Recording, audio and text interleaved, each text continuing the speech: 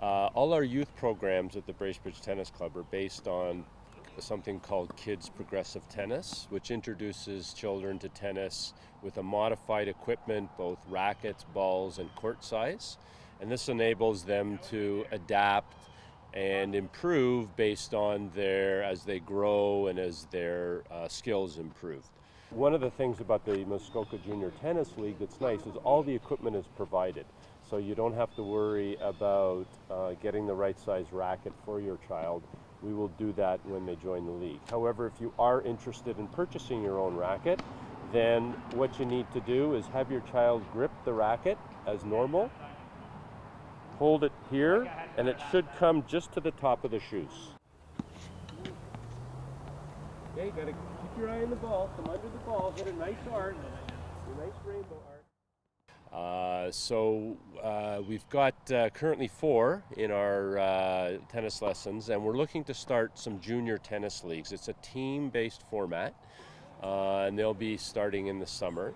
And basically, children will be on balanced teams, so we hope to get 16 uh, kids involved, anywhere from 6 to 12.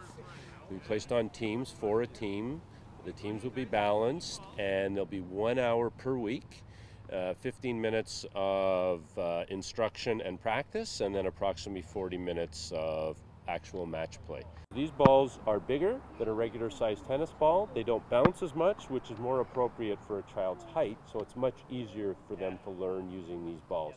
In prior years, it was very challenging for children to learn, basically because the equipment that they used was adult size. And as I said earlier, uh, there's now modified equipment, which makes it a lot easier for children to pick up the game quickly and start enjoying it. We're running right now until middle of June with our actual uh, tennis instruction program, and we're hoping the start date for the league would be July 12th. It's uh, Tuesday evenings from 6 to 8, one hour a week. So the teams will alternate between 6 to 7 or 7 to 8. And again, it's for ages 6 to 12. Any level, uh, regardless of tennis experience, uh, club membership is not required and it's open to anyone from, from anywhere.